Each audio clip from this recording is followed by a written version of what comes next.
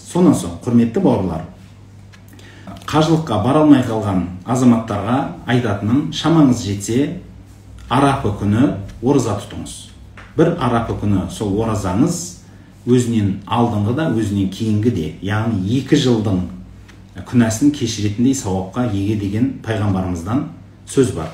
Сол үшін сондай бір керемет дұға тілеп қылатын оразаның ішінде рамазаннан кейінгі ірі болып саналатын нәпіл оразалардың бірі арапы күнгі ораза.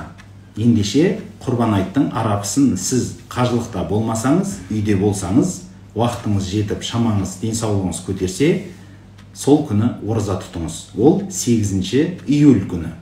Таң намазынан бұрын кәдімгі сәресі ішіп алыңыз сөйтіп кешке шейін ораза тұтыңыз. Тағы бір нүкте. Пайғамбарымыз саллаллаху вассаламнан келген хадис бар. Бұл енді сіздерді қинау емес нәпіл амалдардың біреуі түн айттың түнін яғни арапа кешке жақыннан таңға шейін ғибадат құлшылықпен ләйләтіл қадырды еске түсіріп көрсеңіздер болады. Кешке шейін кештен бастап таңға шейін құлшылық ғибадатпен өткізгеннің сауабы өте күштілігі. Пайғамбарымыз саллаллаху алейhi вассаламның келген хадис кітаптарында айтылады. Осы нәрсені ұмытпай жасай алсаңыздар кереметтей сіздердің құдайдан сұрап қалатын алланың алдындағы мінәжаттарыңыз аллаға пайғамбарымыз саллаллаху вассалам айтылған салауаттарыңыз арқылы сауап амалдар орындауға мүмкіншілік туып отқандығы бар.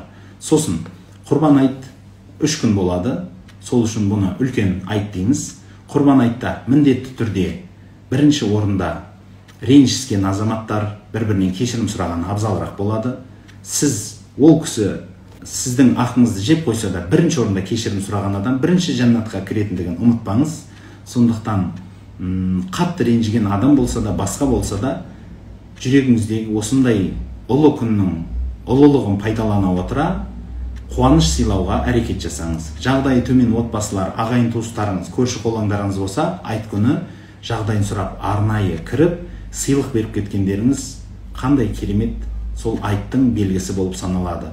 Және біліңіздер бұл исламның шиар дейміз исламның белгілерінен ә, исламның сол нұр жауған рухани байлық берілетін күндерден ендеше осы күндері көп жақсылық жасау ә, бір бірімізден кешірім сұрау және сауап амалдарменен көп өзіміздің уақытымызды реттеу бұның барлығы сіз бенен біздің іздеген сауап амалдарымыз іздеген ақыреттік дорбамыздың жемістері. Ендеше осындай ұлы күндерден қапы қалып қоймаңыз.